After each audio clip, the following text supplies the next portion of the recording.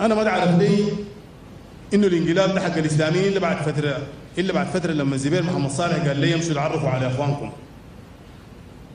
الكلام ده ظهر لي لما كنت في الأمن بعد شهر. جابوا لي ناس مدنيين دخلوهم الأمن. وكنت مستشار الجهاز والسنوسي قال لي جابوا لنا نافع ومعاه عش... معاه معاه ناس ينضموا للجهاز.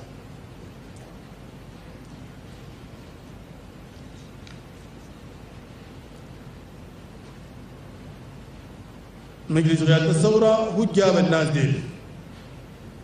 بعد أسبوع حصل عمل من الناس ديل ما بيشبه شغلنا. جيت مع الصباح لقيت الهول فيه ناس كتار نايمين. من ضمنهم قايدي أبو كدوم. حييته. قلت له سعادتك الحاصل شنو؟ قال لي جابنا دكتور نافع. دي الناس الحراسة. طلعت مكتبي رسلت لدكتور نافع قلت له الحاصل شنو؟ قال لي دي تعليمات الزبير. سألت الزبير بالتلفون. سألت الزبير بالتلفون قال لي نافع كذاب واعتذر للناس دي اعتذرت لهم وقلت لهم امشوا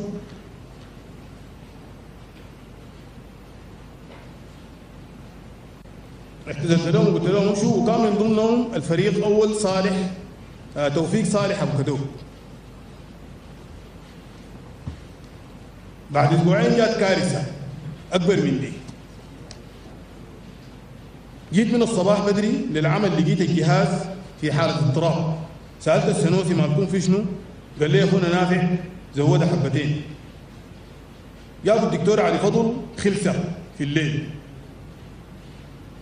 أنا وقت جيت الصباح لقيت الترابيزة نظيفة. قلت للسنوسي أجمع لي المدراء جمع لي المدراء هم ستة. معاهم نائب المدير. وقلت للدكتور نافع الثورة دي ما قامت عشان تقتل أولاد الناس. سنوسي كلمني قال لي قال لي قتلوا دكتور علي فضل. الجهاز هو اثنين مفوض لهم أنا والسنوسي لكن لغاية الوقت ده قانون الجهاز ما بيسمحنا نحتفل. زول. ونافع تجاوزنا بدون تعليماتنا وده كان التجاوز الثاني. بعد عملت اجتماع وجبت المدراء كلهم. ومعاهم نائب المدير نافع علي نافع. وقلت لنافع علي نافع الثورة دي جاء ما جاءت تقتل ولا تعذب ولا عملت ده لا برضاه الله ولا برضاه الرسول. بعد ضربت تليفون للزبير محمد صالح عشان اشرح له الحاصل. أستاذ أستاذ أستاذ أبو بكر. عندك قلت علاقه شنو بال- بالتحقيق نحن بنتلو الأقوال المتحري بنتلو الأقوال اللي بها المتهم في التحري كما هي. ما عندنا لو كان عندها علاقة أو ما عندها علاقة لازم نتلو عليه.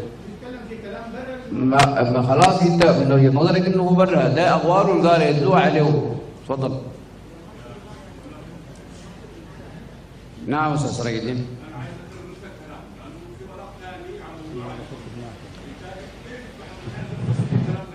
لا ما هو هو هو هذا كلام مسجل لازم يتلى. كلام مسجل في محضر التحري لازم يتلى. أقوال المتحري المتهم في يوم التحري تتلى عليه في المحاكمة اللي قدامنا نحن المعني بها نحن. نعم.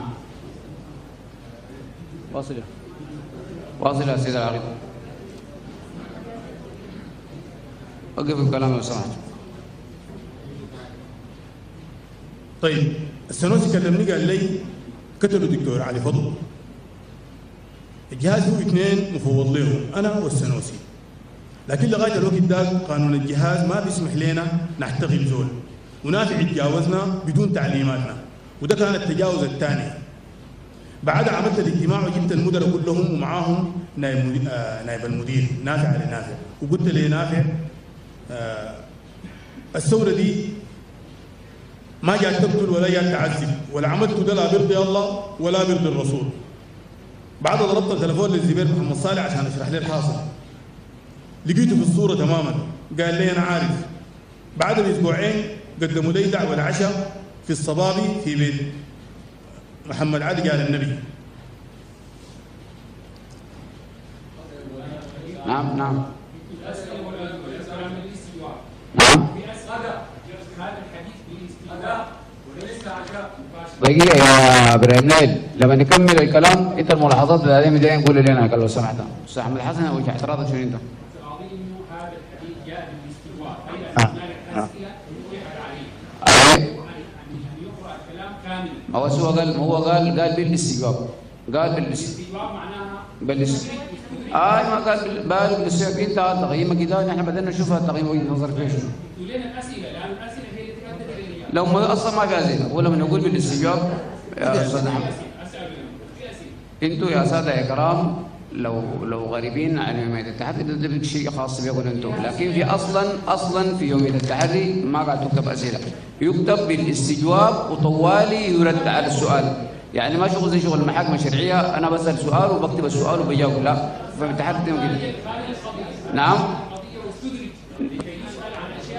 ما نحن المهم شنو؟ المهم في إنه أي سؤال سألوا له قام شوف تجاوب عليه في محضر التحري يطلع عليه إنه هل هو قال ولا ما قال. ده كل الموضوع. تفضل.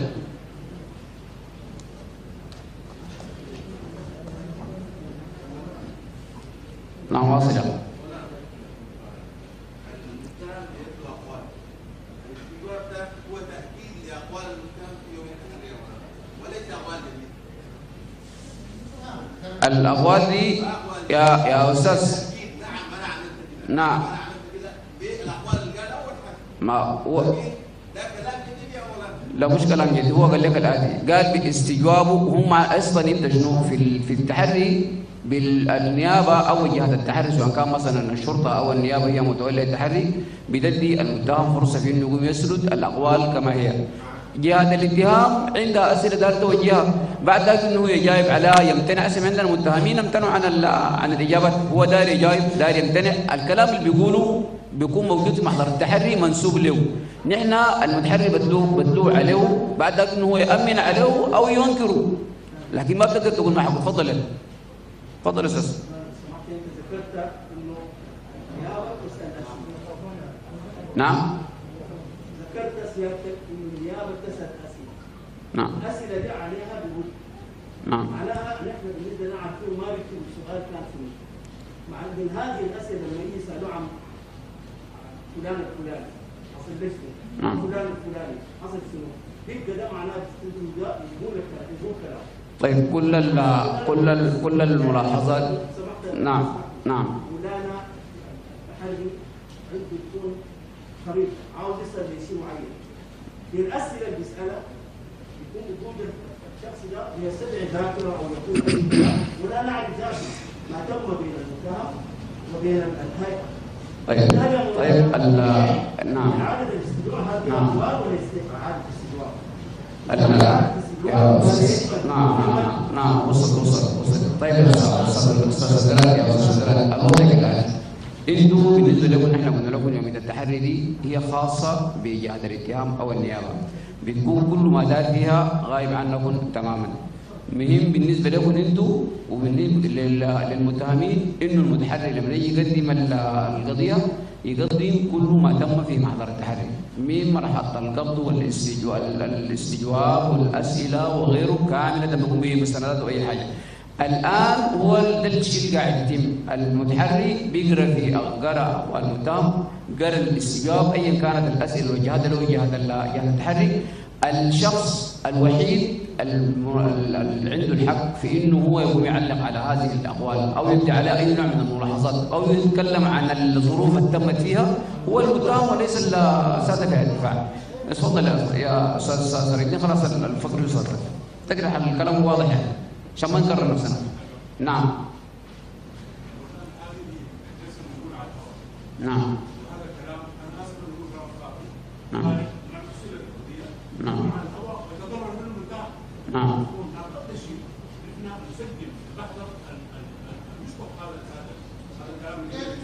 لا لا ما في ما في. يا يا أستاذ يا أستاذ أستاذ أستاذ سراج أستاذ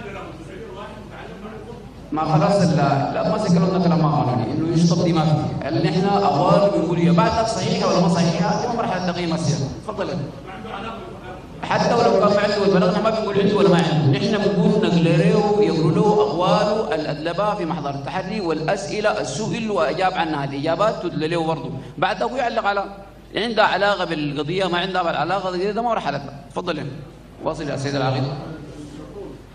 السيد العقيد واصل.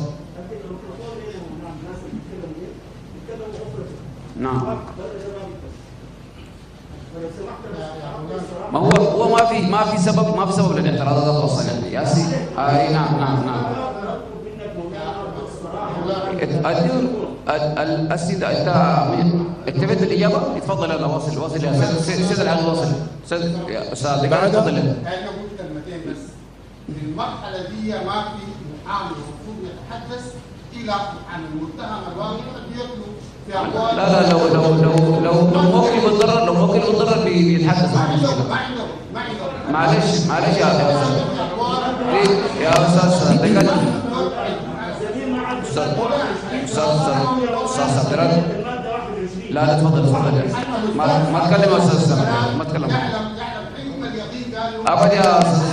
أستاذ دقيقة، تفضل أول سمح ابد تفضل تفضل أول تفضل يا بس أستاذ. إحنا بنختلف عشان ما يقول يقول يطاق كل واحد يقول آه معنا آه، تفضل. وعارف تماما انه تفضل يا أستاذ دقيقة، تفضل السيد العلي قال بعدها ضربت ضربت تليفون للزبير محمد صالح عشان اشرح لي الحاصل. لقيته في الصورة تماما. قال لي أنا عارف. بعد بأسبوعين قدموا لي دعوة عشاء في الصباغي في بيت محمد عبد الله جال النبي. أنا وصلت آه أنا وصلت المعلومة للجهات العليا.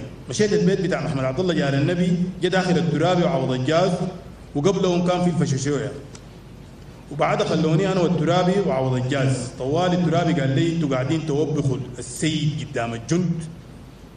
قلت له توبخوا السيد قدام الجند. نعم.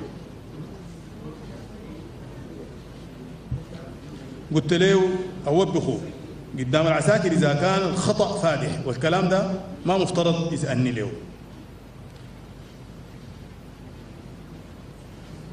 محمد عبد الله جال النبي والفششوية خلونا برانا. بعد بأسبوعين جابوا لي دعوة من القصر. أمشي أقابل الرئيس. صلى بين الزبير الصلاة وقبل نربط الأحذية. بدأ عمر يتكلم. عن مايو قوية. وانت بتعرف في الرياضة. عاوزينك تمشي وزير للشباب والرياضة. ودي الزحلقة. يوم 13 11 سنة 89 انشأوا وزارة للشباب والرياضة وعينوني وزير للشباب والرياضة.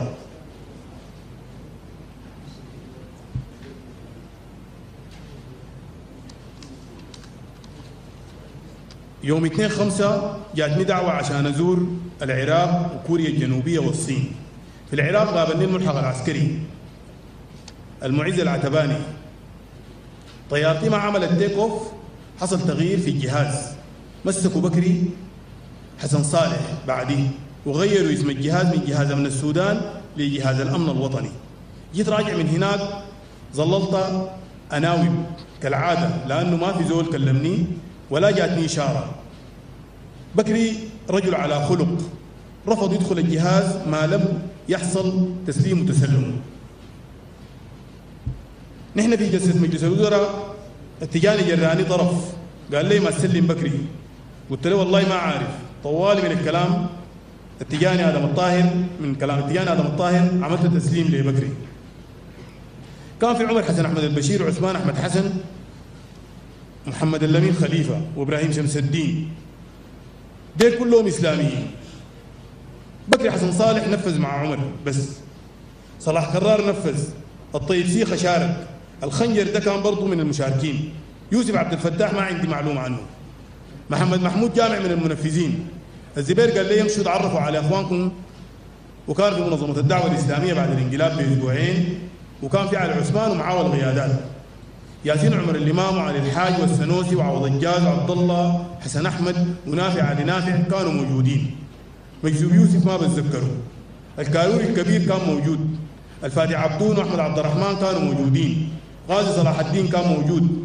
تاج السير مصطفى كان موجود. إبراهيم أحمد عمر كان موجود. بعد عرفت إنه ديل القيادات تحت الجبهه الإسلامية. نفذوا الانقلاب مع العسكريين وهم زادوا عارفين كده. ناس نافع ديل دخلوهم الجهاز وهم مدنيين. الجهاز بيتكون من ضباط في الجيش وضباط شرطة والضباط أمن النميري. وديل ذاتهم اختاروهم اختيار تنقيه بعد الانقلاب الحقوا المدنيين بالجهاد على راسهم نافع على نافع وهم اخذين كورسات في إيران.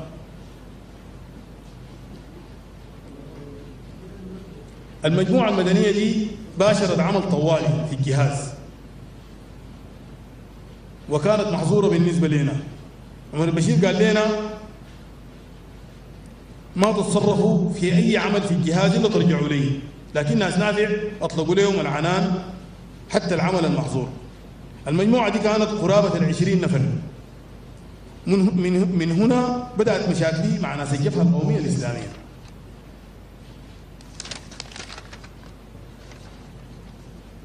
أنا كنت من المغتربين في الكويت. دسوا ورقي وما ادوني بيل. حفزوا كل ناس الجهاز بعربات من قوش أنا الوحيد اللي ما ادوني عربية. هسه شغال تربال بزرع. مشاكلي كلها وراء نافع. حتى الانتخابات. نزلت سقطوني قلت لي يد عليه اقواله ووقع عليها. طيب ال- الاقوال الاولى صفحة دي كم صفحة كم لكم يا أستاذ العقيد؟ دي اقوال واعاده الاستجواب دي كل الاقوال ولا؟ إعادة الاستجواب نعم كلها. ما في. طيب اديو اديو المايك. دي اقوالك اللي قالوها دي؟ بسم الله الرحمن الرحيم. والصلاة والسلام على أشرف المرسلين سيدنا محمد خاتم الأنبياء والمرسلين الفاتح لما أغلق والخاتم لما سبق ناصر الحق بالحق والهادي إلى صراطك المستقيم وعلى آله حق قدره. دار عظيم نعم هذه أقوال. نعم. نعم السيد العقيد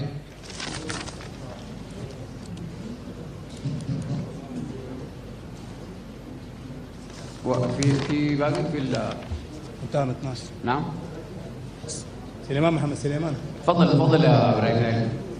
قدام سليمان محمد سليمان.